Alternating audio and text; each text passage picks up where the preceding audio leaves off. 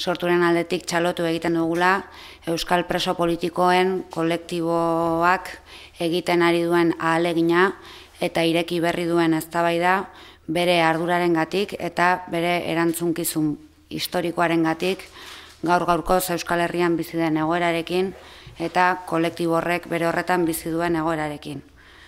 Guztiarekin e, gaur ezagutu dugu eztabaidarako maigaineratu den e, dokumentu hau eta bertan kolektiboak e, planteatzen duena da edo proposatzen duena da eguneratzea eta zehaztearena bere hildo propioa binora bidetan. Alde batetik e, preso guztien etxeratzea berandu baino lehen lortzeko eta beste alde batetik ba, beren hildo politikoa zehaztu eta eraginkortzeko ezkera bertzaleak abian eztabaidan e, bueno, hartutako ondorio lotuta eta ondorio hiekiko beren ekarpena planteatzeko. Eta gure ustez dokumentu honekin eta eztabaida honekin Euskal Preso Politikoen kolektiboak berriro ere maigainan jartzen duena da bere konpromesua, konponbide prozesu batekin eta baita ere bere konpromesoa Euskal Herriaren askapen prozesua bururaino eramatearekin.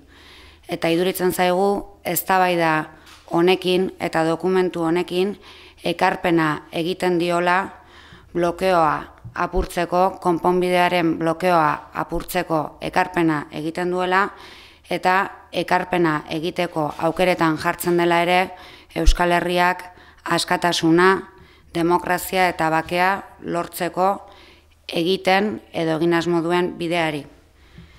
Eta guztiarekin nabarmendu nahiko genuke kolektiboak berak dokumentu horretan aipatzen dituen helburuak bi direla.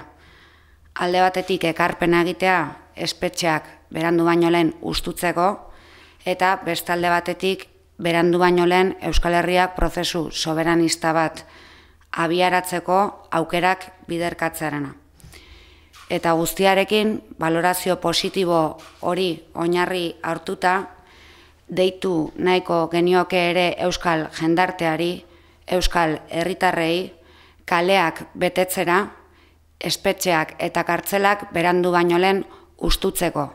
Eta bide horretan kaleak eta e, mobilizazioak indartzeko.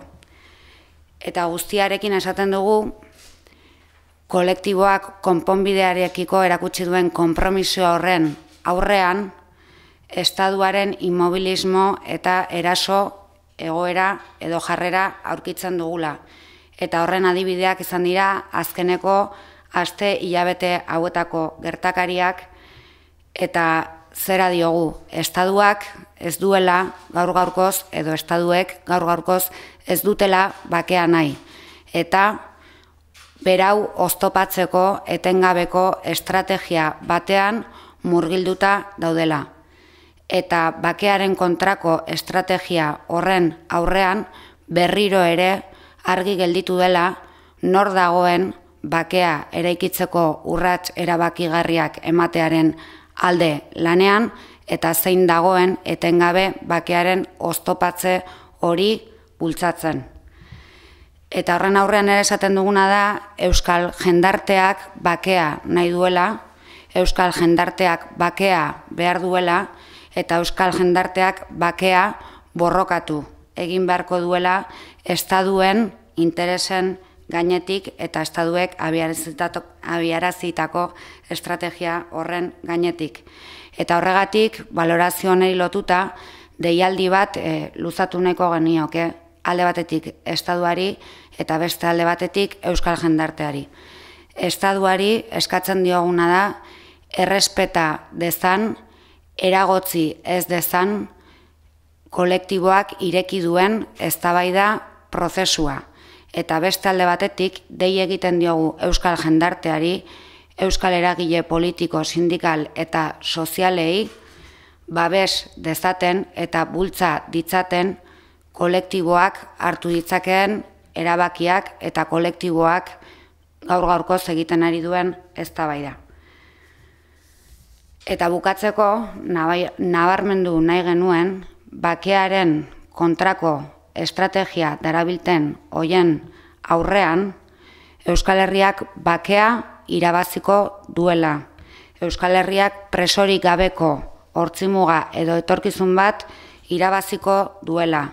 Euskal Herriak demokrazia eta eskatasuna irabaziko dituela. Eta ez dagoela horretarako borondatea hartzen duen jendarte baten aurrean hori oztopatuko duen estrategiarik. Eta horren adibide bezala nabarmendu nahiko genuke azkeneko egun hauetan ezagutu dugun bezala bakearen bost artisauen kaleratzeak demostratzen duena. Eta demostratzen duena da bakearen kontrako estrategia hoien gainetik Euskal Jendartearen mobilizazioak baduela bakearen kontarako estrategia hori geldiarazterik eta ipatutako urratsetan aurrera egiterik.